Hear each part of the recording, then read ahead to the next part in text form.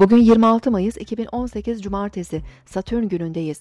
Terazi burcundaki ay gece yarısı 03'te Oğlak burcundaki Plüton'la dik açı yapacak ve boşluğa girecek.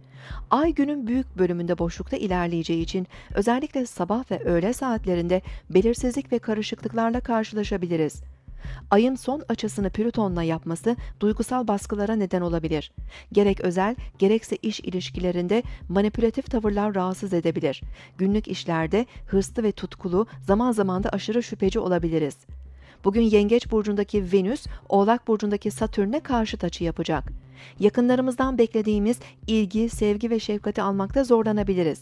Ailevi bazı sorumluluklar da üzerimizde yük olabilir. Aile ve güvenlik gibi alanlarda gelecek kaygımız ve endişelerimiz artabilir. Ay 16.38'de Akrep Burcu'na geçecek. Akşam ve gece saatlerinde Ay, önce Uranüs ardından Kova Burcu'ndaki Mars'la dik açı yapacak. Bu saatlerde daha gergin ve stresli olabilir, çabuk öfkelenebilir, ilişkilerde inatçı ve dürtüsel davranabiliriz. Çatışmalara ve kazalara açık olan gece saatlerinde daha temkinli ve dikkatli hareket etmeliyiz. Siz de şimdi kanalımıza abone olun, yorumlar bölümüne sorularınızı yazın, sürprizlerimizden haberdar olun.